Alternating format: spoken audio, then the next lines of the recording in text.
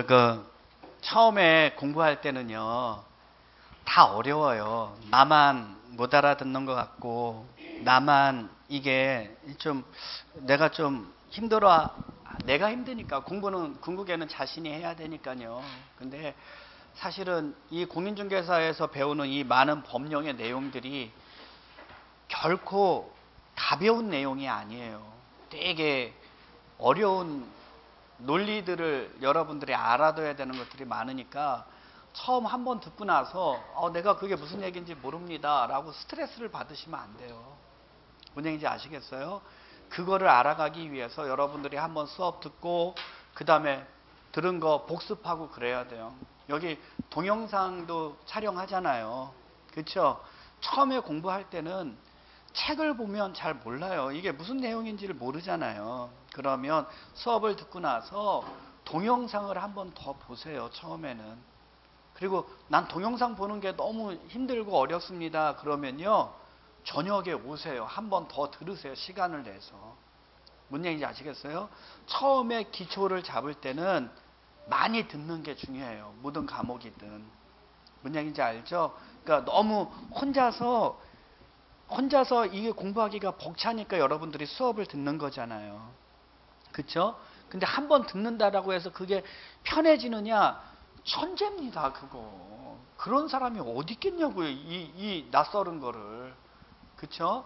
그러니까 얘네들은 처음에는 진짜 뼈를 깎는 그 아픔을 감내하면서 듣고 또 듣고 또 듣고 그러는 거예요. 그래서 그게 익숙해지면 알고 나면 아무것도 아니잖아요. 모르니까 어려운 거지. 그쵸? 그러니까 좀 너무 욕심내지 말고 내가 무슨 얘기인지 잘 못 알아듣겠다. 그러면 반드시 집에 가셔서 복습을 하세요. 동영상을 보시라고. 혼자 공부하는 건 어려우니까 동영상을 보시든지. 그게 싫으면 초반에는 저녁에 한 번 더 나오세요. 나와서 한 번 더 들으세요. 무슨 얘기인지 알죠? 예, 그런 노력이 없어서는 이거 알아가기가 되게 힘들고 어려워요. 됐죠? 예, 그러니까 그, 예.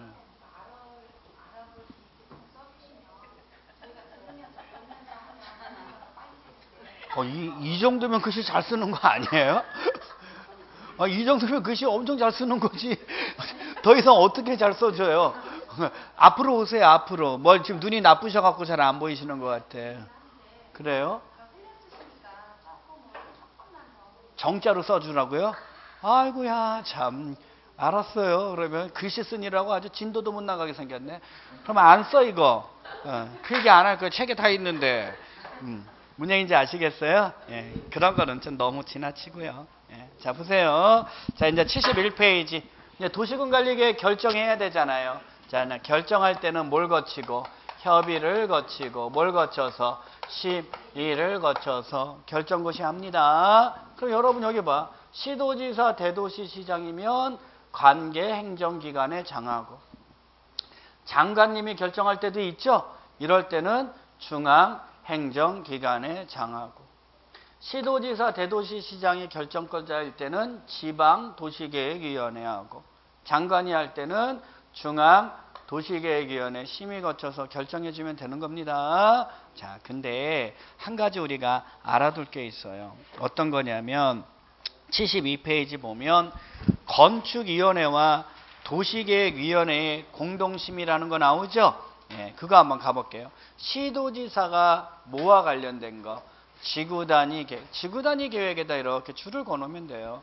지구단위 계획에 관련된 도시군 관리 계획을 결정하려면 건축위원회와 도시계획위원회가 공동으로 하는 심의를 거쳐라. 이렇게 돼 있죠? 예, 여러분 여기 봐. 우리 지난 시간에 마지막에 토지를 개발한다라는 거. 토지를 개발한다라는 건 토지 위에 뭐를 짓는 거라고 그랬어? 건축물을 건축하는 거라고 그랬죠. 여러분, 지구 단위 계획은 복합 개발하는 거야. 개발 정비하는 거죠. 개발 정비한다는 얘기는 지금 이 일부 토지 위에 건축물을 짓는다는 거야, 안 짓는다는 거야? 짓는다는 거라고 개발, 토지를 개발한다는 게 토지 위에 건축물을 짓는 거니까. 이해하셨어요? 그래서 이 지구 단위 계획은 지구 단위 계획은 상당히 구체적인 계획이라고 그랬죠. 예, 얘는 지구 단위 계획 안에는 건축물에 관련된 사항들이 많다 적다 많아요. 그러니까 도시계획위원회 도시계획위원회는 도시 공간에 관한 걸 심의하는 기관이라고 이런 도시계획위원회가 건축물에 관련된 걸 전문적으로 심의할 수가 있어요 없어요? 없지 근데 그 건축물에 관련된 게 지구 단위 계획에는 포함이 되어 있다고 은행지 아시겠어요? 그러니까 지구 단위 계획에 관련된 걸 결정할 때는 도시계획위원회뿐만이 아니라 건축위원회 뭐까지 거쳐라 공동으로 하는 심의를 거쳐라 이렇게 되는 거예요. 이해하셨어요? 네, 그거 하나 알아두시면 되고요. 고시 열람입니다. 이 얘기죠. 시도지사, 대도시 시장, 장관이 도시군 관리 계획을 결정했다면 뭐 하라고요? 고시하라고요. 구속적 계획이니까. 그래서 시도지사, 대도시 시장은 공보에 저기 지자체 소식지가 공보예요. 그리고 중앙정부의 소식지가 관보입니다. 그래서 장관은 관보에, 지자체장은 공보에 고시합니다. 그래 놓고 이거를 누구한테 보내줘요? 특광, 시장, 군수에게 보내줘요. 이해하셨어요? 그러면 이자들은 결정권자가 고시했으니까 얘네들은 알릴 필요 있어요 없어요? 없고 그냥 주민들이 뭐 할 수 있도록 볼 수 있도록 뭐만 해주라고 열람만 해줘라 이렇게 되는 거예요. 이해하셨어요? 예. 그럼 열람은 일정 기간만 해줘야 돼요? 아니면 수시로 볼 수 있도록 해줘야 돼요? 얘는 구속적 계획이잖아요. 그쵸? 열람해놓고 한 두 시간 해놓고 싹 닫아버리면 그 많은 것들을 우리가 어떻게 다 아냐고 모르, 알 수가 없겠죠. 그래서 구속적 계획의 열람 기간은 제한이 있다 없다 없다 무제한 시시때 때로 볼 수 있도록 해준다 이해하셨어요? 우리 아까 비구속적 계획 있죠? 승인해주면 수립환자에게 보내주면 그 자들이 공고했다고 비구속적 계획이니까 그 자들이 공고하고 며칠 이상 30일 이상만 열람해요 왜 관심 있는 주민하고 전문가들만 보면 되니까 이해하셨어요? 근데 구속적 계획은 열람 기간에 제한이 있더라 없더라 없더라 이해하셨어? 예, 그래요 그 정도도 하나 알아두시면 좋다고요 넘겨보세요 자 이러한 도시군 관리 계획은 구속적 계획이라고 그랬죠 구속적 계획이니까 효력이 발생해야 되잖아요. 자, 언제 효력이 발생하느냐. 자, 줄을 쫙 건너야 돼요. 지형 도면을 고시한 날. 지형 도면을 뭐 한 날이요? 고시한 날로부터 효력이 발생합니다. 거기에다 줄을 쫙 건으세요. 굵은 글씨로 써 있죠? 네, 중요하니까 굵은 글씨로 써 있겠죠. 지형도면을 무한 날로부터 고시 한 날로부터 효력이 생깁니다. 다음 날 그러면 된다고 안 된다고 안 돼요. 됐죠? 자, 근데 이번에 보니까 기득권 보호 이렇게 돼 있죠? 여러분 기득권자라는 게 뭐냐면 이 도시군 관리 계획을 결정할 당시에 이미 사업이나 공사에 착수한 자, 뭐한 자요? 착수한 자. 이미 사업이나 공사에 이미 하고 있었던 자들이에요. 됐어요? 자, 이 자들은 원칙, 원칙, 도시군 관리계획 결정에 관계없이, 도시군 관리계획 결정에 뭐 없이요? 관계없이 그 사업이나 공사를 계속 할 수 있다, 없다? 있다. 기득권자 이렇게 보호된다는 거예요. 자, 첫 번째 원칙 갑니다. 도시군 관리계획 결정 당시 이미 사업이나 공사에 모한 자, 착수한 자. 그 착수에다 착수가 검은 글자로 돼 있잖아. 착수한 자, 이자들을 기득권자라고 합니다. 이자들은 도시군 관리계획 결정에 관계없이 그 사업이나 공사를 계속할 수 있다. 맞죠? 근데 밑에 예외입니다. 예외적으로 기득권자라 하더라도 그게 시가와 조정구역하고 또 수산자원 보호구역에 관련된 도시군 관리 계획이 결정됐어요. 시가와 조정구역하고 수산자원 보호구역 거기다 줄 놓으셨어요. 예. 그러면 이런 경우면 자, 기득권자래도 이 결정고시가 있는 날로부터 몇 월 이내에 3월 이내에 모눈하고 시장군수에게 공사 내용, 사업 내용을 모눈해야 된다. 신고는 해야지 계속할 수 있다. 이런 얘기예요. 됐어요? 그러면 여러분 시가와 조정구역, 수산자원 보호구역은 용도 구역이죠? 이 시가와 조정구역, 수산자원 보호구역 안에서도 기득권자는 보호된다는 거예요? 보호되지 않는다는 거예요? 보호되는데 얘는 규제가 엄격하기 때문에 기득권자라도 몇 월 이내에 3월 이내에 모눈하라고 신고해야지 할 수 있다고 문제인지 아시겠어요? 예, 그거를 꼭 비교해서 알아두시면 되겠고요. 자, 옆에 3번에 보면 자, 지형도면 나오는 거죠? 자, 여기 보세요. 자, 도시군 관리 계획은 지형도면을 고시한 날로부터 효력이 생깁니다. 그러면 누군가는 지형도면을 작성해서 고시해 줘야 된다는 얘기 아니에요. 자, 보세요. 도시군 관리 계획을 위반한 자. 도시군 관리 계획을 뭐 한 자요? 위반한 자. 위반한 자는 원칙 누구고? 시장, 군수, 예외, 도지사, 장관. 이 자들이죠. 자, 위반한 자들은 지형도면을 작성해라 이거예요. 왜 지형도면입니까? 지형도에다 작성하니까 그래요. 뭐에다가? 지형도에다가. 지형도에다가 자, 도시군 관리 계획 있죠? 도시군 관리 계획으로 결정된 내용이 있어요? 없어요? 있잖아. 이 내용을 이 지형도에다가 자세히 밝혀서 작성한 도면. 그래서 이걸 뭐라고 한다고요? 지형 도면. 그러면 위반한 자가 지형 도면을 뭐 하라는 거예요? 작성해라. 맞아요? 네. 그러면 시장군수가 위반했으면 도지사에 뭘 받아야 돼요? 승인. 그러면 만약에 특별시장, 광역시장, 자치시장, 자치도지사, 대도시시장, 국장이 작성했다면 승인 받는다, 안 받는다? 안 받아요. 그쵸? 그러면 도지사는 며칠 안에, 30일 안에 승인해 줍니다. 이해하셨어요? 그리고 이자들이 지형도면을 고시해요. 문제인지 아시겠어요? 그럼 얘는 지형도면 열람하는 것도 일정한 기간 안에 해야 될까요? 무제한일까요? 무제한이어야 되겠죠? 왜? 구속적 계획의 내용을 담고 있는 도면이니까. 이해하셨어요? 좋아요. 그게 지형 도면이에요. 그래서 원칙은 누가 작성하냐? 시장, 군수가. 맞아요? 지적이 표시된 지형도에, 자세한 지형도에다가 도시군 관리계획 사항에 관한 결정사항을 자세히 밝힌 도면을 작성해라. 그게 뭐라고요? 지형 도면입니다. 장관이나 도지사가 도시군 관리 계획을 위반했다면 시장 군수의 의견을 들어서 직접 지형 도면 작성할 수 있어요. 승인. 시장 군수가 작성했다면 도지사에 뭘 받으세요? 승인. 그러면 도지사는 며칠 안에 30일 이내에 지형 도면을 승인해 주세요. 맞죠? 예, 장관, 시도지사, 대도시 시장은 직접 맞아요. 시장 군수라면 도지사가 승인을 받으면 도지사가 일을 뭐 하라고요? 고시하라고요. 이해하셨어요? 좋아요. 지형도면입니다. 자, 그 다음에 도시군 관리계획도 넘겨보세요. 도시군 관리계획도 일반 계획이잖아요. 얘는 반드시 수립되어 줘야 되는 계획입니다. 그래서 얘도 타당성 검토 해야 돼요? 안 해야 돼요? 해야 돼. 몇 년마다? 5년마다. 왜? 잘했어요. 타당성 검토는 몇 년마다? 왜요?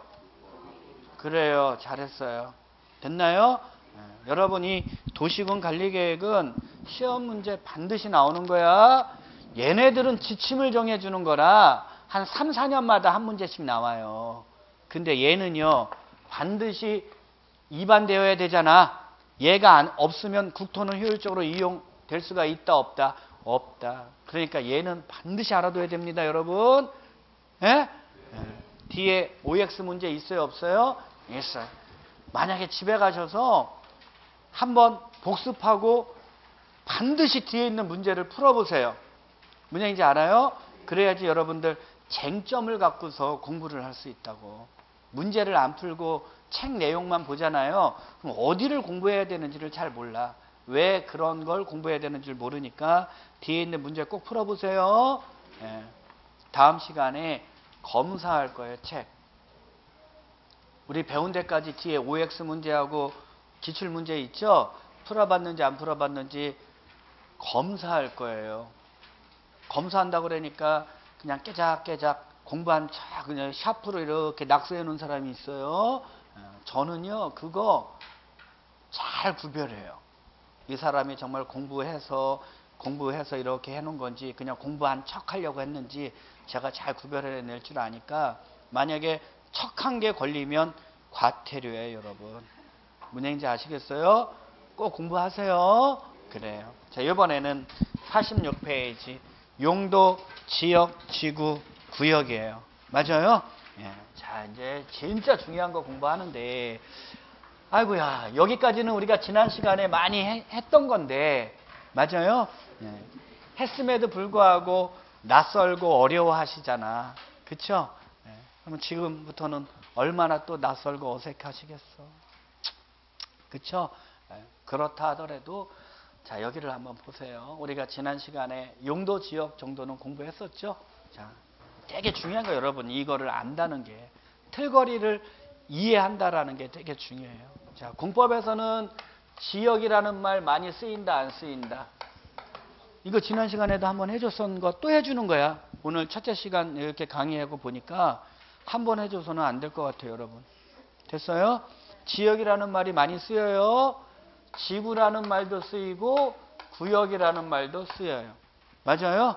예, 지역은 뭐느냐? 지역은 전체라고. 지역은 전체를 얘기해요. 맞아요? 전체에 대한 기본적, 일반적. 맞아요? 그러면 지구나 구역은 전체가 아니겠죠? 일부라고. 일부고, 이 일부의 기본적이고 일반적 이런 얘기 아닐 거 아니에요. 요 일부에만 적용되는 특정한 특수한 그 무엇. 이해하셨어요? 예? 그래서 여러분 지난 시간에 해준 거야. 지구 단위 계획이잖아. 맞죠? 뭐를 단위로 한다고? 그러니까 전부 일부. 일부 어디에 일부? 어, 여기에 일부를 여기다 써- 예전에 해줬잖아. 근데 이 도시군 관리 계획은 개발 보존하고 관련된 거라 그러는데 얘는 다 개발과 관련된 거라 그랬죠. 그러니까 이 일부 토지를 개발해 기본적 개발, 특수 개발, 특수 개발 그게 복합 개발이라고 그랬지. 기능 증진시키고 미관 개선하고 양호한 환경 확보하면서 복합 개발하기 위해서 수립되는 도시군 관리 계획이 뭐라는 거예요? 지구 단위 계획이라고 그랬잖아. 여러분들이 이 개념만 알면 갖다 붙이면 돼. 이해하셨어요? 근데 나 그거 잘 모르겠습니다. 이러면 안 되지. 지난번에 얘기해 줬으니까 알려고 하면 되잖아. 뭐 하려고? 알려고. 아, 그래. 공법에서 지역이라는 말이 그렇게 쓰이는구나. 이럴 때. 지구나 구역이라는 말이 그럴 때 쓰이나 보다. 그냥 받아들이면 돼요. 문행지 아시겠어요? 약속이니까. 됐죠? 그러면 여기에 뭐가 붙는 거야? 용도가 붙는 거야, 용도. 용도 지역, 용도 지구, 용도 구역. 용도가 뭐예요? 사용 목적. 쓰임새는 학계론적 개념이고, 그렇죠? 이용 목적, 사용 목적 이렇게 얘기합니다. 됐죠? 그럼 여러분 여기 봐. 지는 토지의 사용 목적. 토지의 사용 목적. 맞아요? 근데 구역은요. 지가 아니잖아. 얘는 토지의 사용 목적을 정해주는 게 아니구나. 거기에는 특정한 어떠한 사용 목적. 이해하셨어? 그래서 여기 봐. 용도 지역, 용도 지구 같이 써요. 이렇게. 용도 구역은 따로 이렇게 쓴다고 이렇게. 이해하셨냐고? 예? 그러니까 토지의 사용 목적을 정해주는 건 뭐하고 뭐라고? 용도 지역하고 용도 지구고. 맞아요? 이 용도 구역은 용도 지역, 용도 지구처럼 토지의 사용 목적을 정해주는 게 아니라 또 어떤 그 어떤 거 무슨 얘기인지 알아요? 말 속에서 이미 그렇게 알 수가 있어 없어? 있죠. 그러면 여기 봐. 용도 지역은 전체잖아. 토지의 전체 토지가 뭐야? 국토지. 국토에 대해서 기본적인 사용 목적을 정해주고자 지정하는 게 뭐라는 거예요? 용도? 지, 아, 갖다 말 맞추면 되잖아. 국토의 기본적인 사용 목적을 정해주기 위해서 지정하는 게 뭐다? 용도, 지역이다. 무엇으로? 도, 시군, 관리계획으로 결정해서 지정 변경하는 게 용도, 지역. 맞아요? 이해하셨어? 근데 우리가 지난 시간에 배운 게 이 토지의 뭐에 따라 특성에 따라서 이 토지가 갖고 있는 특징에 따라서 기본적인 사용 목적을 정해 주려고 도시군 관리 계획으로 결정해서 지정하는 게 뭐라고요? 용도 지역이다. 얘는 기본적인 사용 목적이니까 중복 지정이 된다고 안 된다고? 중복 지정이 될까 안 될까? 안 되지. 가장 기본이 되는 사용 목적이 이렇게도 사용하고 이렇게도 사용하고 아 그러면 헷갈리잖아. 기본적인 사용 목적은 됐어요? 예. 두 개 이상의 사용 목적이 정해지면 된다고 안 된다고? 안 된다고. 중복 지정이 된다 안 된다? 안 된다. 생각하기. 자, 그래서 크게는 네 가지가 있다 그랬죠. 뭐, 도, 관, 농, 자. 이 기억나요? 도는 무슨 지역이지? 도시 지역. 관은 관리 지역. 농은 농림 지역. 자는 자연환경 보전 지역. 맞아요? 그럼 얘네들은 특징을 갖고서 지정하는 거니까. 맞아요? 자, 여러분 여기 봐봐. 늘 얘기했잖아. 농림 지역은 뭐가 있는 거야? 농지하고 산림 있는 거라 그랬잖아. 찾으려고 하지 말고 여기 이걸 보고 해독을 할 줄 알아야 돼. 지금 에? 어차피 다음 시간이나 뭐 이따 끝나고 나서 다 줄거줘 또. 전 해놓고 또 나중에 줄거주잖아. 힘들어 죽겠어. 그렇게 해주는 그렇게 해주는 것도 줄글 때도 못 찾아. 아 속상해 죽겠어 아주.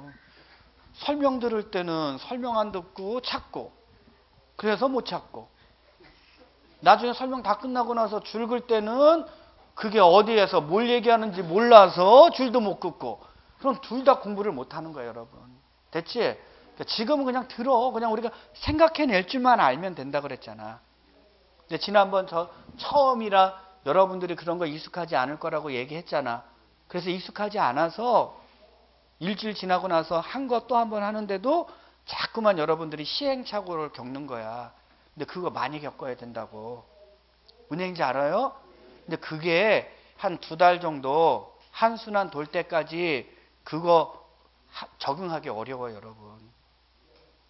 하지만 노력하다 보면 다음 순환 돌아갈 때는 좀 더 익숙해지겠지. 그 다음 순환 돌아갈 때는 더 익숙해지고 그 다음 순환 돌아갈 때는 이젠 알아. 안 찾아봐도 안다는 걸 이 머리가 딱 인지를 해요. 뭔 얘기인지 아시겠어요? 그러면 그냥 막 푸는 거야. 안 해워도. 이해하셨어요? 좀 인내심 갖고 그렇게 한번 해보세요. 해독하는 방식을 설명해 주는 거야. 이 단어를. 이해하셨어요? 자, 용도 지역은 특성에 따라서 기본적인 사용 목적 정해주는 거잖아. 그 중에 하나가 농림 지역이야. 그럼 이 토지에는 농지하고 산림이 있다는 거죠. 농림 아닙니까? 그래서. 맞아요? 그러면 상식적으로 생각하는 거예요. 농지하고 산림 개발합니까? 보존합니까? 그래요. 여기 여기하고 관련돼 있는데 농지하고 산림은 개발해야 될까요? 보존해야 될까요? 보존한다는 거예요, 이렇게. 맞아요? 그럼 왜 농지하고 산림을 보존하려고 합니까? 이것 때문에 농림업의 진흥이에요. 농업과 임업의 생산을 늘리기 위해서 농업하고 임업을 발전시키기 위해서 농지와 산림을 보존할 필요가 있으면 거기는 무슨 지역이라고요? 농림 지역에 이해하셨어요? 그럼 여러분 여기 봐봐. 그래서 지난 시간에 이런 얘기 해드렸잖아. 대전 광역시에 농지하고 산림이 있는데 농림업의 진흥을 위해서 그 농지와 산림을 보존해야 돼요. 그러면 대전 광역시장님은 대전 광역시 도시군 관리 계획으로 거기를 무슨 지역 지정한다고 농림 지역으로 지정해. 기억나요? 그러면서 제가 또 이런 얘기도 했어. 서울특별시에 어디에? 서울특별시에 농지하고 산림이 있는데 맞아요? 농림업의 진흥을 위해서 그 농지와 산림을 보존해야 돼. 그러면 서울특별시장님은 서울특별시 도시군 관리계획으로 결정해서 거기를 무슨 지역으로 지정해? 농림지역으로 지정해. 또 해줘? 특별자치도에 특별자치도에 농지하고 산림이 있는데 농림업의 진흥을 위해서 보존해야 돼. 그러면 특별자치도지사는 특별자치도 도시군 관리계획으로 결정해서 거기를 무슨 지역으로 지정해? 농림지역으로 지정해. 또 해줘? 무슨 얘기인지 알아요, 이거? 이해, 이해하셔? 그러면 이 얘기가 무슨 얘기냐면, 서울특별시든 대전광역시든 특별자치도든 뭐 대구광역시든 광주광역시든 무슨 시든 따진다 안 따진다? 안 따진다. 같은 토지의 특성이 있으면 같은 용도 지역이 지정이 된다. 맞아요? 그래서 용도 지역은 획일적으로 지정이 된다. 통일적으로 지정된다고. 그래서 용도 지역의 규제는 지방마다 도시군마다 다 다르게 할 필요가 있다 없다? 없다. 중앙에서 통제한다고 그랬잖아. 그래서 대통령령에 법령에 의해서 이루어진다고 이해하셨어? 이 말의 이 말의 의미가 그런 거를 포함하고 있다라는 거예요 여러분. 이해하셨냐고. 됐어? 그래 이제 오늘 이제 그거를 배워 그게 어떤 의미가 있는지를 이해하셨냐고? 그래. 자연환경 보전 지역은 개발해야 돼 보존해야 돼? 보존하는 거지. 뭐를? 자연 환경을. 자연 환경은 산수라고 그랬잖아. 맞아요? 그대로 보존하겠다. 그러니까 여기 해안 있어 없어? 수자원. 보존된다고 그냥? 그 다음에 여기에 있는 동식물 생태계 보존되겠죠? 그 다음에 여기에 있는 상수원 보존되겠죠? 이런 곳에 있는 문화재 이런 거 다 보존이 된다 안 된다? 자연 환경을 보존하다 보니까 그 안에 있는 것들 다 보존되더라. 이해하셨어? 근데 수산 자원이 수산 자원이 차고 넘치는 데가 있더라. 이럴 때는 그 수산 자원을 잘 보호해서 더 풍성해지도록 수산자원을 보호 육성해 줘야 될 필요가 있는 것도 있을 수 있다 없다 있다 이런 것까지 무슨 지역이다 자연환경 보존지역이다 이해하셨어요? 그러면 여러분 도시지역은 개발 중심으로 이용해야 돼 보존 중심으로 이용해야 되겠어?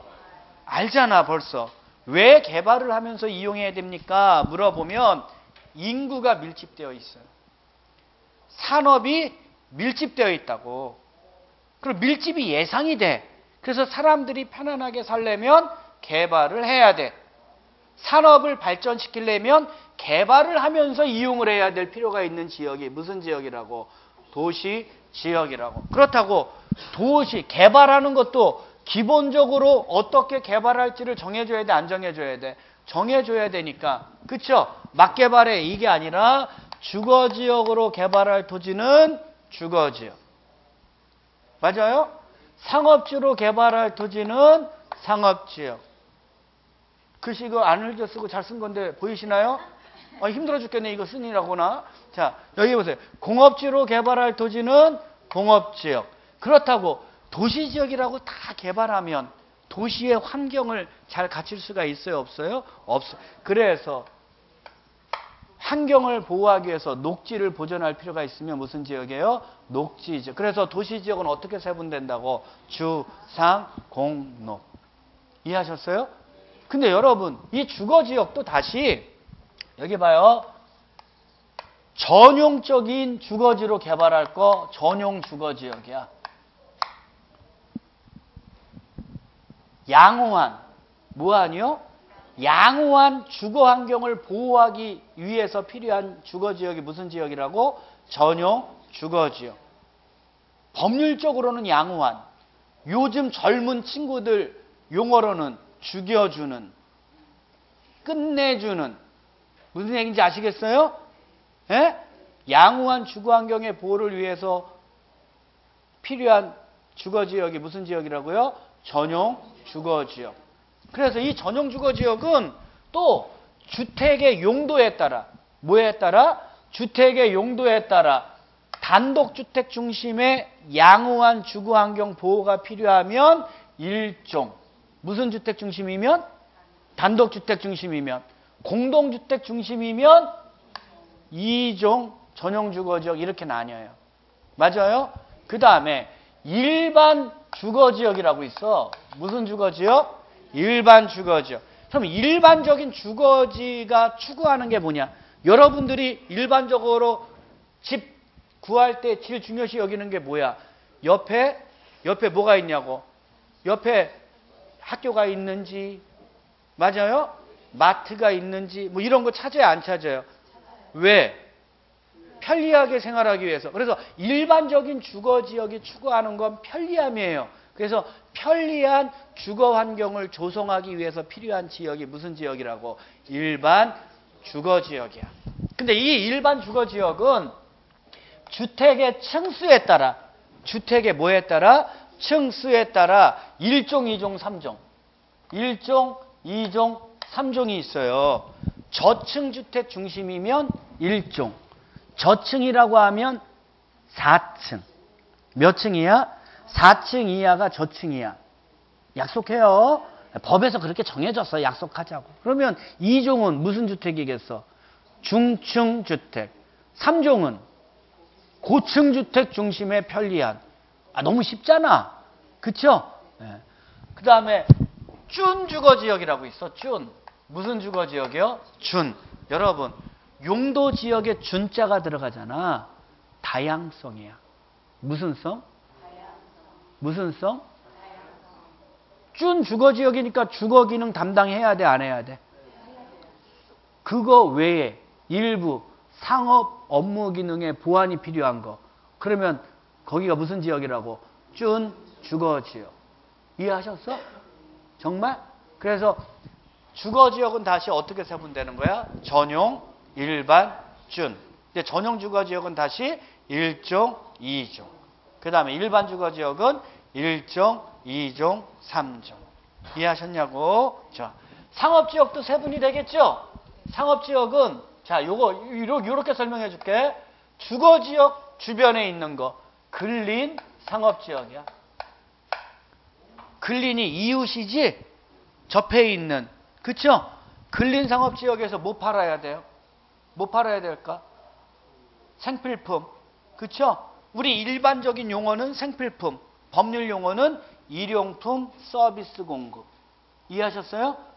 아, 그거 알잖아. 상식적으로. 그 다음에 유통상업지역이라고 있어요. 무슨 상업지역? 무슨 상업지역? 유통. 유통이 뭔지 아시지?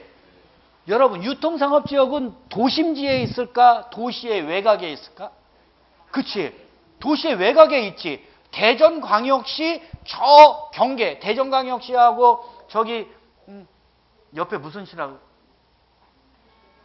대룡시 그 경계선에 유통상업 물류센터 같은 게 그런 데 위치해요. 그래 안 그래요? 그래서 지역 간 대전시와 계룡시 지역 간 또는 도시 내 대전시 안에 도시 내에 유통 기능 증진하기 위한 상업 지역이 무슨 지역이라고? 유통 상업 지역. 이해하셨어? 그 다음에 일반 상업 지역이라고 있어. 일반 상업 지역. 일반적인 상업 업무 기능 담당이에요. 무슨 적인? 일반적인 상업 업무 기능 담당하는 게 무슨 상업 지역이라고? 일반 상업 지역. 여기 봐, 여러분. 여기 봐.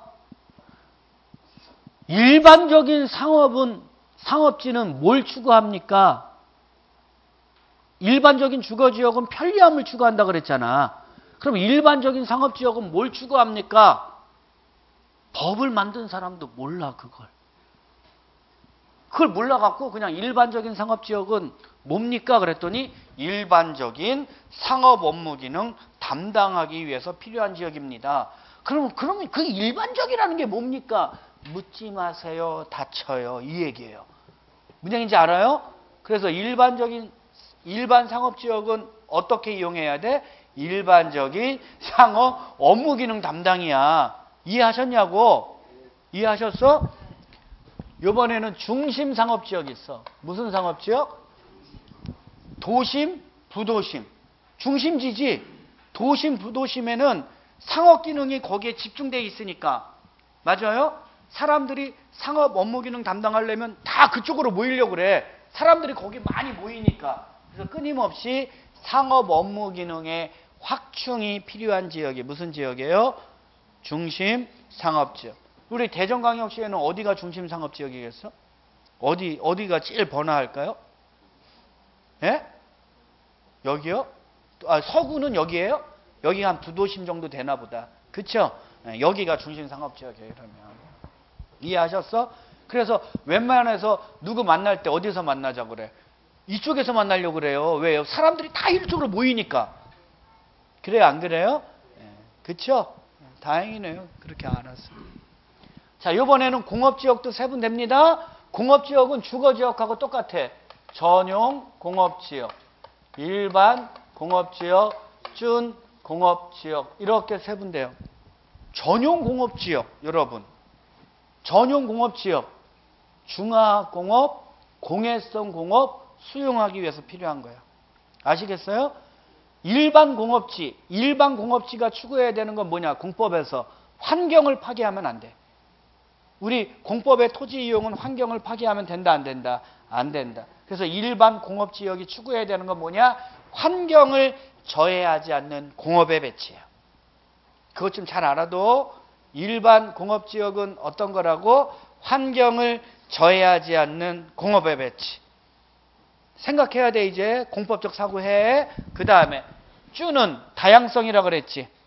경공업 하겠지. 일부 주거, 상업, 업무 기능의 보완이 필요하면 뭐예요? 준 공업 지역에. 이렇게 세분됩니다. 자, 그 다음에 녹지 지역은 개발이야, 보전이야? 보전인데. 자, 여기 보세요. 여기 봐. 지난 시간에도 한번 했네. 도시의 자연환경 보전하기 위해서, 도시의 자연환경 보전하기 위해서 녹지의 보전이 필요한 지역이 있어요. 즉, 뭐는 아닌데, 자연환경 보전 지역은 아닌데 도시의 자연환경을 보존하기 위해서 자연환경 보전 지역처럼 녹지의 보전이 필요하다. 그러면 뭐라 그랬어? 보전. 하여튼 자연환경 보전 지역은 아닌데 자연환경 보전 지역처럼 그러면 뭐 들어간다고? 보전. 그럼 여기 봐. 농림지역은 아닌데 무슨 지역은 아닌데? 농림지역은 아닌데 농림지역처럼 농업이나 임업의 생산을 위해서 녹지를 보존해 줘야 되는 데가 있어. 이런 데는 생산. 그런 데는 뭐라고요? 농림지역은 아닌데 농림지역처럼 그러면 뭐라고? 생산. 우리 약속했었어. 지난번 들었을 때 못 외웠으면 이번에는 들으면서 받아들여. 이해하셨어요? 그 다음에 녹지 지역이야. 그래서 자연 녹지 지역이 있는데 녹지니까 녹지를 보존해야 돼, 개발해야 돼. 녹지를 보존해야 돼. 근데 불가피한 경우에는 어쩔 수 없는 경우죠. 불가피한 경우에는 어쩔 수 없이 자연스럽게 개발 가능한 토지도 허용되는 거. 그게 무슨 녹지 지역이에요? 자연 녹지. 여기서 말하는 자연은 어쩔 수 없는 경우에는 자연스럽게 개발할 수 있도록 허용하는 거. 그게 뭐라고요? 자연 녹지 지역. 좋아요. 이번에는 여기 보세요. 관리 지역은 일명 철험 지역이라 그랬지. 이거지. 세 가지가 있는 거죠. 자연환경 보전 지역은 아닌데 자연환경 보전 지역처럼. 그럼 거기는 뭐라고? 보전 관리 지역. 농림 지역은 아닌데 농림 지역처럼. 그러면 생산 관리 지역. 맞아요? 도시 지역은 아닌데 도시 지역처럼 그러면 계획적으로 개발해야지. 계획 관리 지역. 이렇게 나뉘어요. 이해하셨어? 이게 뭐라고? 용도? 용도 지역이라고 여러분. 이러한 용도 지역은 여기 봐. 전 국토를 대상으로 그 토지가 갖고 있는 뭐에 따라 특성에 따라 기본적인 사용 목적을 정해주고자 도시군 관리 계획으로 결정해서 지정하는 지역이에요. 이해하셨어요? 예? 그래서 크게는 도, 관, 농, 자. 도는 주, 상, 공, 노. 주는 전용, 일반, 준. 상은 근린, 유통, 일반, 중심. 공은 전용, 일반, 준. 예를 잘 알아둬야 돼. 녹지 지역은 좀 몰라도 돼. 이해하셨어요? 예? 계획관리 지역은 처럼 지역이라고 그랬죠? 도시 지역처럼 계획관리 지역. 얘를 잘 알아두라 그랬잖아. 그래서 원래는 용도 지역이 크게 네 개인데 얘는 개발 중심으로 이용되는 토지. 그래서 얘는 도시 지역이라고 하고. 맞아요?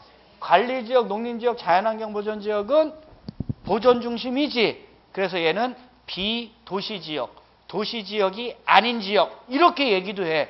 비도시 지역에는 몇 가지가 있는 거야? 세 가지. 뭐 관리, 농림, 자연환경 보전.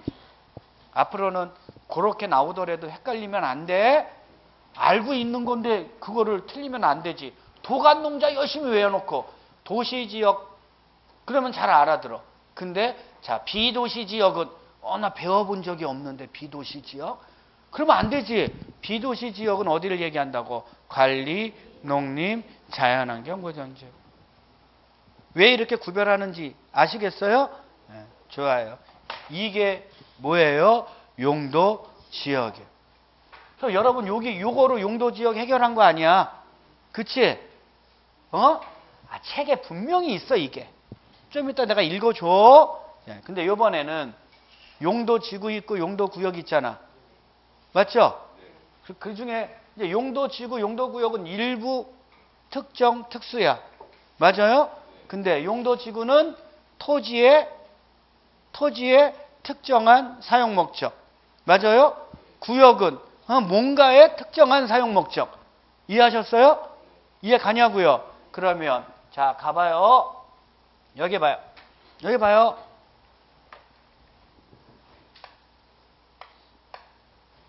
기본적인 사용 목적을 용도 지역을 통해서 이렇게 지정을 했어요. 맞아요?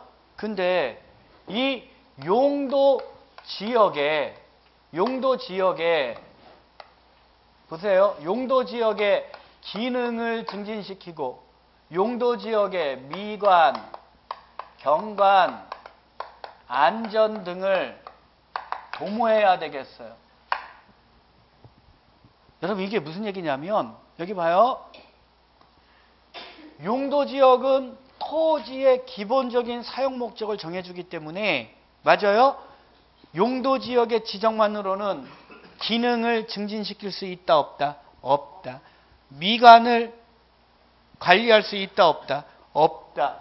경관 안전 등을 도모해 나갈 수 있다 없다 없다. 그래서 용도 지역의 기능, 미관, 경관, 안전 등을 도모하기 위해서 즉 용도 지역의 지정만으로는 달성할 수 없는 특정한 목적을 위해서 즉 용도 지역의 미비점, 미비점을 모하기 위해서 보완하기 위한 특정한 목적을 위해서 용도 지역에 부가적으로 지정되는 게 뭐라는 거예요? 용도 지구라는 거예요. 이해하셨어요? 이게 무슨 얘기인지 몰라. 자, 이게 말이 어렵잖아, 이 말을. 이 말이 어렵잖아. 지금 무슨 얘기인지 모르잖아. 그쵸? 그러면 이렇게 보면 되는 거지. 말이 어려우면 그림 그리면 되는 거예요, 여러분. 자, 여기 한번 봐. 여기가 있는데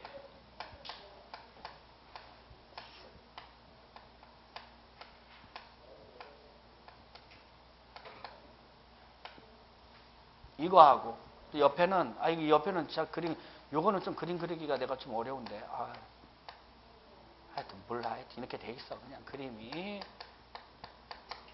아니, 뭔지 모르지만 그림이 이렇게 돼 있어. 이렇게 돼 있고 여기 뭐 이쪽에서 이렇게 길 따라가면 이쪽에는 여기는 아나잘 몰라 못 그려 잘. 예. 이렇게 이 사람 아니에요 이게. 예? 3층 석가탑, 다보탑, 석가탑, 다보탑 여기는 석굴암 맞아요? 그럼 여기는 무슨 산이죠? 토암산. 그럼 여기는 무슨 시? 경주시. 그렇죠? 그럼 경주시장님은 경주시 도시군 관리계획으로 여기 일대를 무슨 지역으로 지정할까? 아 그래. 우리는 이것만 알면 벌써 안 되니까 여기가 무슨 지역인지? 맞아요, 맞아요. 자연환경 보존지역 지정한데 당연한 거예요. 이거는 어쩔 수 없어요. 환경하고 문화재 보존해야 되니까. 맞아요? 알아요, 몰라요? 알아야 되는데. 이- 이거 기본적인 사용 목적 정해 준다고 여기 특징에 따라서 맞아요? 여기 자연환경 보존 지역이에요. 이해하셨어요? 그러니까 얘 보존해야 되잖아. 그래갖고 이 석가탑 다보탑 있으면 여기 바깥에다 이렇게 줄 테두리 걸어놨어요? 안 걸어놨어요? 왜 걸어놨어요? 함부로 들어가서 만지지 마세요. 눈으로만 보세요. 맞아요? 보호해야 되니까. 그래갖고 요 앞에서 그 줄에 이렇게 기대서 못 찍어요. 셀카 찍나 요즘은? 사진도 찍고 막 그러잖아요. 그래 안 그래요? 만지면 된다고 안 된다고? 예, 보존하라고 나오니까 자연환경 보존지역에서 이렇게 보존하라고 나오니까 만지면 안 돼. 그래 안 그래요? 그래갖고 석굴암을 이렇게 보다가 뭘 보다가요? 석굴암도 이렇게 보, 보세요 이렇게 돼 있지 들어가서 막 만지면 돼요 안 돼요? 안 돼요. 그래갖고 그냥 되게 기분이 나쁜 거야 이 친구가 만지지 말고 막 그러라니까 그래서 에에에 그러고 푹 뱉었어요. 뭐를요? 아니 아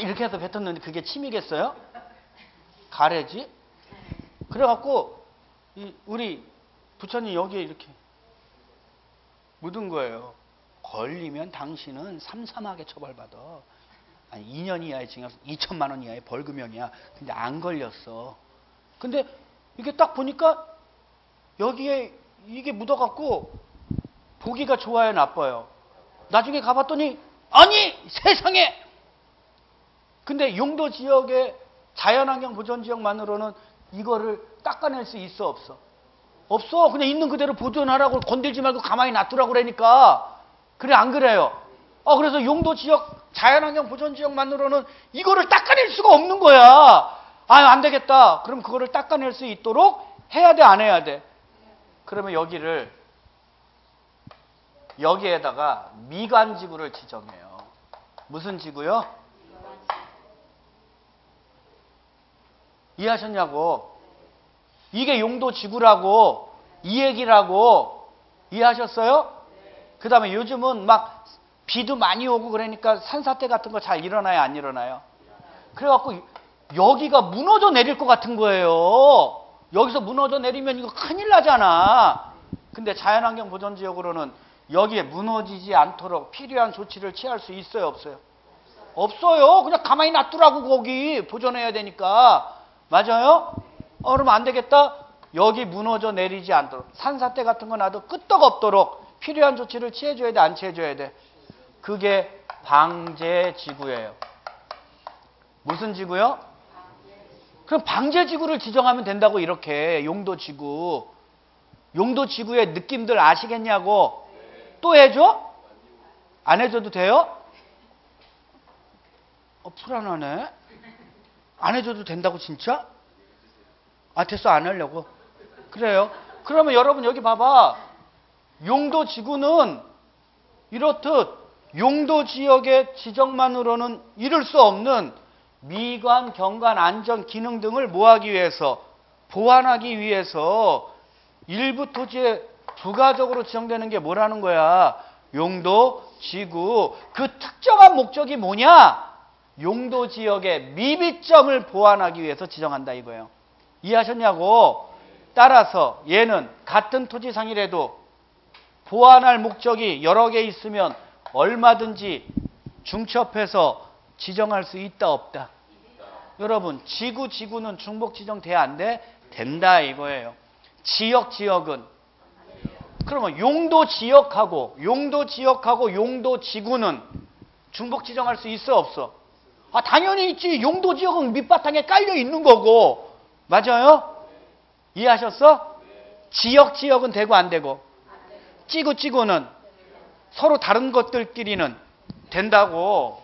이해하셨냐고? 이해하셨어? 이 말의 의미가 뭔지 진짜 알겠냐고? 그러면 종류만 알면 되겠네. 이제 용도지구의 종류만 알면 되겠네. 용도지구는 왜 지정한다고? 용도 지역의 미비점을 보완하기 위해서 용도 지역 위에 덧붙여서 지정되는 거예요 이해하셨어요? 그러면 말이 곧 보완해야 되는 목적이 되는 거지. 그러면 첫 번째 여기 봐. 경관지구 있어. 무슨 지구? 뭐를 보호하기 위해서? 경관. 경관. 이해하셨냐고? 경관을 보호 형성할 필요가 있는 지구. 이게 무슨 지구야? 경관 지구. 아시겠어? 오, 훌륭해. 자, 여기 봐. 경관 지구는 세 가지로 나뉘어. 자, 수, 시. 나중에 다 읽어줘. 자수시예요. 자가 뭐냐면 자연 경관지구. 수는 수변 경관지구. 시는 시가지 경관지구야. 그럼 여러분, 자연 경관지구는 자연의 경관을 맞아요? 보호하기 위한 거죠. 산지, 구릉지 같은데 산지나 구릉지 등의 경관을 보호 형성하기 위해서 필요한 지구가 자연 경관 지구. 여기 봐요. 수변이잖아. 수는 뭐라고? 수변. 수변은 하천 이런 거 얘기해. 하천. 우리 대전 광역시에 무슨 천이 있어요? 강 있냐고? 갑천이요? 갑천? 네. 그럼 갑천 주변에 경관을 보호하기 위한 거 있죠? 그건 무슨 경관지구예요? 수변 경관지구. 시는 시가지야. 시가지니까 주거 기능. 맞아요? 도시. 여기 한복판 이런 데 있죠? 시가지의 자연 경관이겠어? 도시 경관이겠어? 도시 경관을 보호하기 위한 게 시가지 경관지구. 앞으로 여러분 이거는 갖다 말 붙이면 돼. 여기에다가. 이해하셨어? 그러니까 경관지구가 어떻게 세분되는지만 알면 되는 거지. 경관지구는 어떻게 세분된다고? 자, 수, 시. 자가 뭐라고? 자연. 수는 수변, 시는 시가지. 경관지구는 어떻게 세분돼? 자, 수, 시. 됐어요? 어느 분 이거 자수시라고 가르쳐 줬어? 어느 분은 이렇게 자두시. 자두시 그러면 돼, 안 돼? 안 돼. 자두시 하지 말라고 그랬더니 재수시? 이렇게 외우는 사람이. 그것도 안 돼. 재수시, 자두시도 아니고 뭐라고? 자수시. 외웠어? 그 다음에 미간지구 있어. 무슨 지구요? 미간을 유지 관리하기 위한 거 아니에요? 맞잖아. 갖다 말 붙이면 돼. 미간을 유지 관리하기 위한 거예요. 예? 중, 역, 일.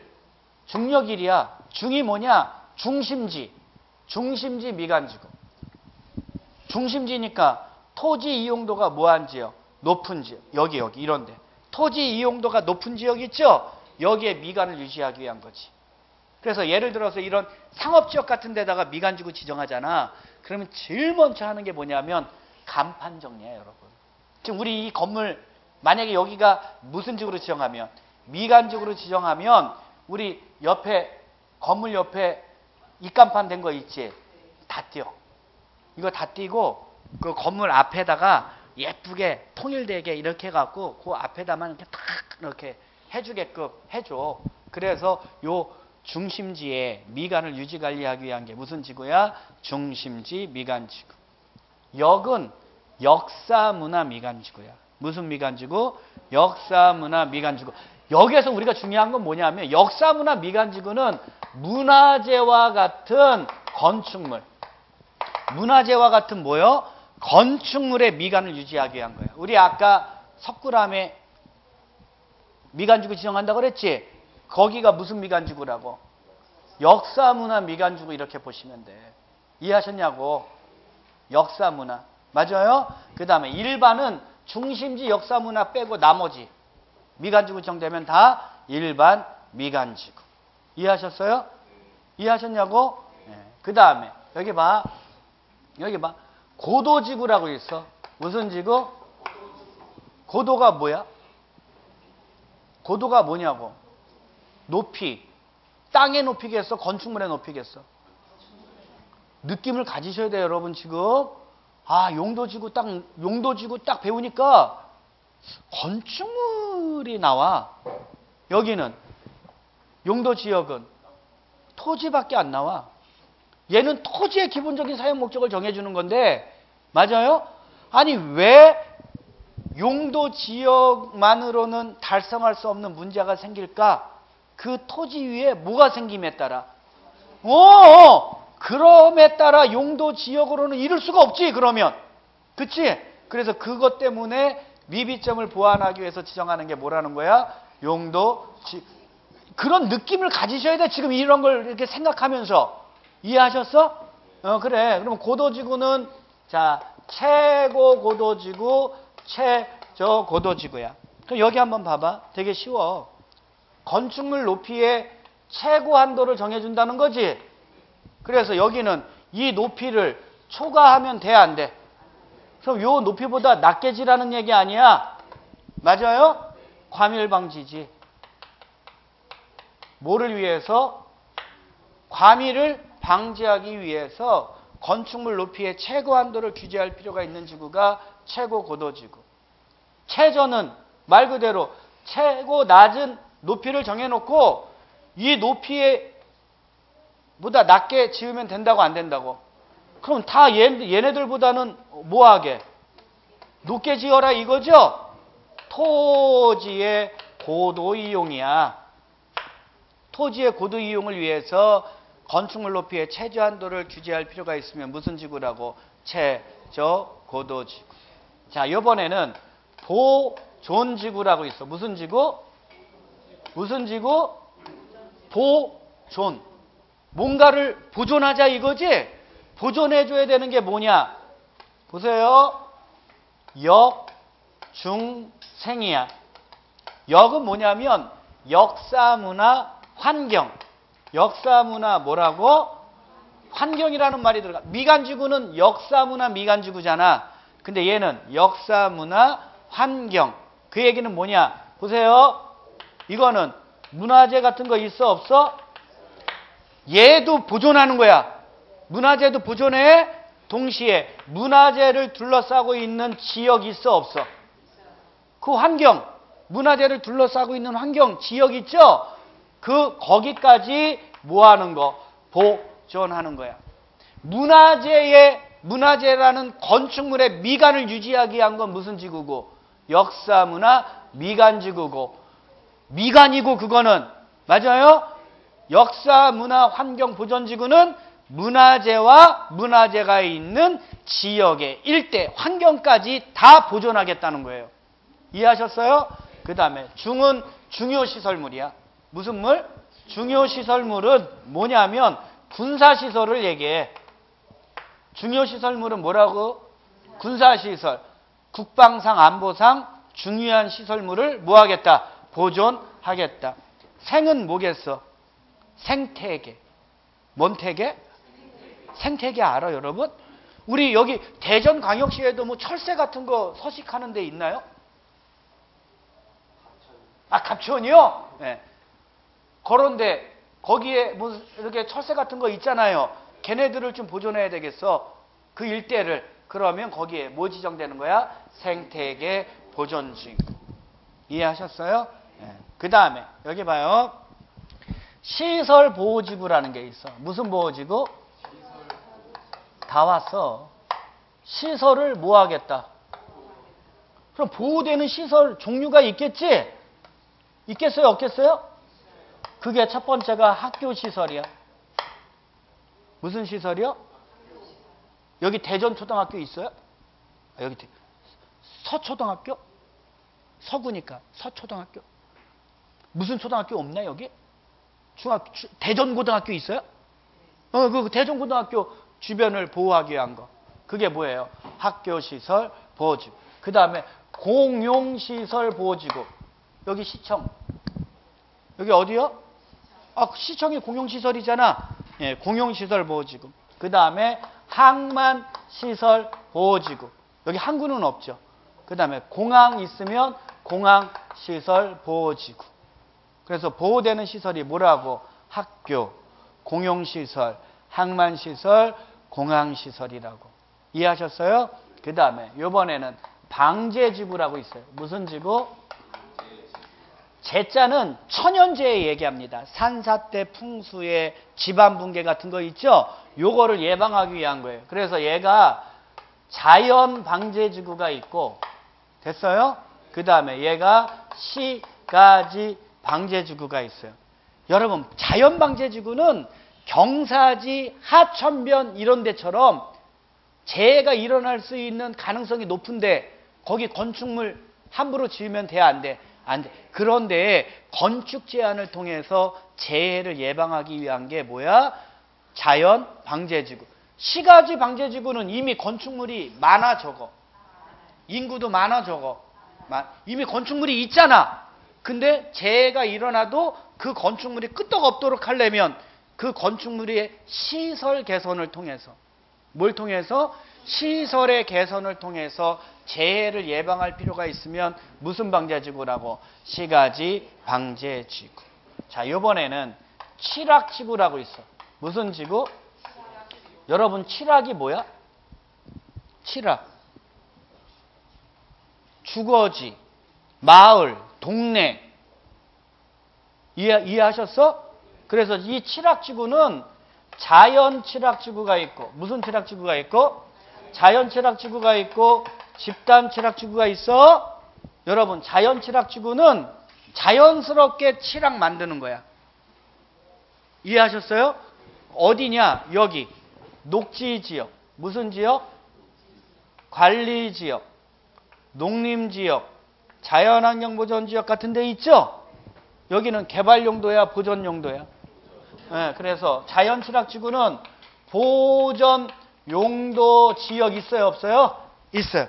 보전 용도 지역에 뜸은 뜸은 뜸은 뜸은 있는 집들을 한 곳으로 모아서 맞아요? 마을 만들어주는 지구 있죠? 그게 무슨 칠학지구라고? 자연 칠학지구. 보전 용도 지역에 칠학을 모하기 위해서 정비하기 위해서 필요한 지역이 무슨 지구라고? 자연 칠학지구. 그럼 여러분 여기 봐봐. 정비는 정비는 개발이야, 보전이야. 정비는 개발이야, 보전이야. 그럼 여러분 여기 봐. 용도 지역은 지금 개발 아래, 보전 아래. 보전 아래잖아. 근데 여기에 개발하겠다는 거 아니야, 지금? 그러면 칠학지구는 용도 지역의 미비점을 보완하기 위해서 용도 지역의 규제를 강화하는 거다, 완화하는 거다. 강화하는 거야, 완화하는 거야? 그래요. 얘는 용도 지역의 규제를 완화하는 용도 지구라고. 이해하셨어요? 여러분, 지금까지 배운 경관, 미관, 고도, 보전, 시설, 방제지구 같은 거 있죠? 얘네들은 용도 지역의 규제를 강화해, 완화해. 강화하지. 기존에 이렇게 이용을 해야 되는데 거기에 모두 보존해야 돼. 경관을 보존해야 되니까 경관 보존을 위한 어떤 규제를 더 덧붙여야 되잖아. 나머지도 웬만한 용도지구는 다 용도지역의 규제를 모아하는 건데 강화하는 건데 완화하는 게 있더라. 그게 뭐다? 그러니까 시험 문제는 이런 데서 나온다고 다 여기서 나와. 이해하셨어? 됐어요? 자, 그 다음에 집단 칠학지구는 개발 제한 구역 어디요? 개발 제한 구역에 칠학을 정비하기 위한 건 어디에? 개발 제한 구역에 칠학을 정비하기 위한 건 뭐라고? 집단 칠학 지구야. 이해하셨어? 예. 됐냐고요? 자, 잘 알아두셔야 돼. 그 다음에 개발 진흥지구라고 있어. 무슨 지구요? 개발을 진흥하기 위한 지구야. 그럼 여러분 얘는 용도 지역의 규제를 강화야 완화야? 강화 완화? 완화지. 그러니까 얘도 시험 문제 잘 나온다고. 맞아요? 용도 지구 중에서 용도 지역의 규제를 완화하는 게 딱 두 가지가 있어요. 하나가 칠학지구, 하나가 개발진흥지구예요. 그럼 여러분 여기 봐봐. 녹지는 개발이야, 보존이야? 그러니까 얘 들어가면 안 되겠지. 주거, 상업, 공업 기능 등을 됐어요? 중심으로 개발을 진흥하기 위해서 필요한 지구가 뭐라고? 개발 진흥 지구. 이해하셨어요? 그러니까 얘도 세분이 돼. 그래서 주거 기능을 위주로 개발한다. 주거 개발 진흥 지구. 맞아요? 그 다음에 이번에는 공업 기능이야. 공업 기능이니까 이제 물건 만들어내겠지. 그쵸? 마- 만들어낸 물건을 내다 팔아야 돼, 안 팔아야 돼? 그거는 유통이지. 그래서 그 기능을 중심으로 하는 걸 산업, 유통. 산업하고 유통은 이렇게 같이 묶여야 된다고. 이해하셨냐고? 물건 만들어서 내다 팔아야 되니까. 맞아? 그 다음에 이번에는 관광지. 관광지 또는 휴양지 아니야. 그래서 얘는 관광, 휴양. 관광, 휴양, 개발진흥지구. 이렇게 나와. 이해하셨어요? 그래서 기본이 주거, 산업유통, 관광휴양이야. 근데 요 세 가지 기능 중 두 개 이상을 섞었다? 두 개 이상을 섞었다? 그러면 뭐야? 복합. 복합이겠지? 맞아요? 요 세 개 기능 외에 다른 거다? 특정. 그걸 뭐라고 한다고? 특정. 주거, 산업유통, 관광휴양 두 개 섞으면 복합. 이거 외에 다른 특정한 목적이면 특정. 그래서 이게 특정 개발진흥지구. 이해하셨어? 이해 가요? 자, 그 다음에 방화지구라고 있어. 무슨 지구? 화자가 무슨 화자야? 화재 위험을 예방하기 위한 거고. 세 분 안 돼요. 그 다음에 여러분 또 하나 뭐가 있냐면 특정 용도 제한 지구라고 있어. 무슨 지구? 말이 다 된 거지. 특정의 용도의 입지를 제한할 필요가 있는 지구야. 예? 이 얘기가 무슨 얘기냐면 주거 기능 보호해야 돼. 청소년 보호해야 돼. 누구 뭐 누구 보호한다고?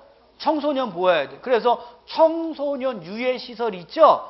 유해 시설의 입지를 제한할 필요가 있는 지구가 무슨 지구라고? 특정 용도 제한 지구. 이해하셨어요? 그래서 법에는 몇 개의 용도 지구가 있다고? 10개가 있어. 10개가 있는데 그 중에 8가지가 세분이 돼. 그러면 얘네들이 시험 문제 잘 나오겠어? 세분되는 게 잘 나오겠어? 이게 잘 나와. 그 중에서도 웬만한 건 다 규제를 강화하는 건데 완화하는 게 있어 없어? 그게 뭐라고? 칠학, 개발진흥. 여기가 그냥 나와.